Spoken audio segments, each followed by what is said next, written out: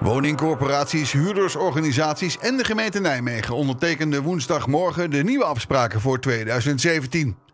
In deze zogenoemde prestatieafspraken kregen huurders een belangrijke stem en maakten de samenwerkende partijen afspraken over het energiezuiniger maken van woningen. We zijn hier vandaag in het stadhuis om een eh, heel heugelijk feit te vieren.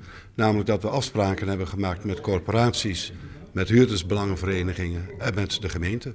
Die zijn gemaakt om in ieder geval ervoor te zorgen dat we in de toekomst voor heel veel mensen goede huurwoningen houden. Er zijn uh, in Nijmegen zeven corporaties. Uh, die zijn erbij betrokken. Al die corporaties hebben een eigen huurdersbelangenvereniging.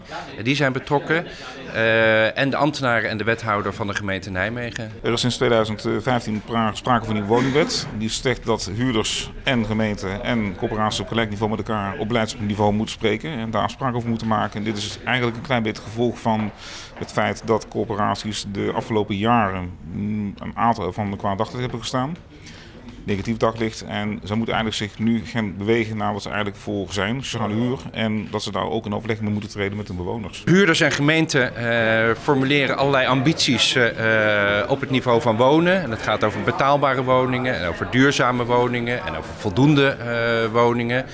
Um, en dat wil je natuurlijk niet zomaar in het midden laten, maar daar wil je behoorlijke afspraken over maken. Het ja, realiseren van betaalbare woningen, sociale huurwoningen, zoals in prijzen, leefbaarheid, duurzaamheid, uh, levensbestendig maken en ook bijvoorbeeld het, ja, het, het milieuaspect. Het stookaspect bijvoorbeeld, zonnepanelen, maar ook of je als woningcorporatie niet over zou moeten gaan tot de verkoop van woningen die niet eigenlijk tot jouw voorraad hoeven te behoren. We hebben een plicht als gemeente om te zorgen dus dat de inwoners van onze stad uiteindelijk allemaal een dak boven hun hoofd hebben. En dat dat dak wat dat betreft ook een, een, een goed dak is en ook betaalbaar is voor de mensen die hier wonen.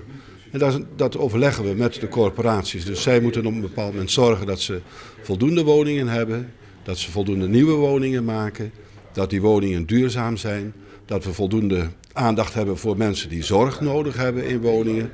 Dus dat zijn de afspraken die we met corporaties en met de huurders, belangenverenigingen maken.